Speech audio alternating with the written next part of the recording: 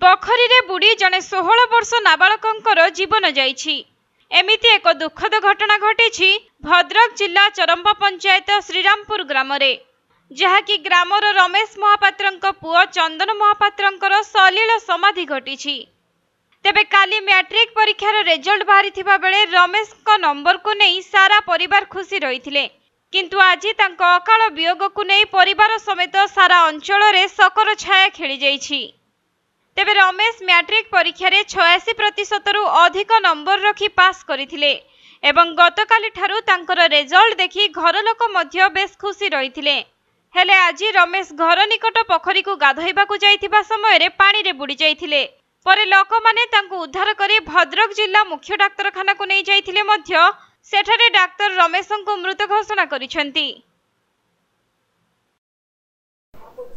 ଦେଖନ୍ତୁ ବଡ଼ ଦୁଃଖର କଥା।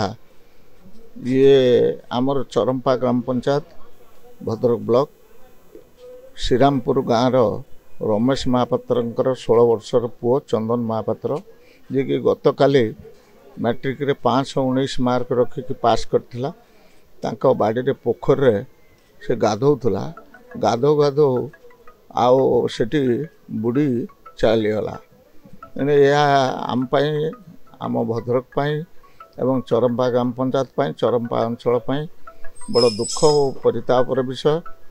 ଆମେ ଭଗବାନଙ୍କ ପାଖରେ ପ୍ରାର୍ଥନା କରୁଛୁ ତାଙ୍କ ପିତାମାତାଙ୍କୁ ଭଗବାନ ବୁଦ୍ଧି ବା ସାହସ ଦିଅନ୍ତୁ।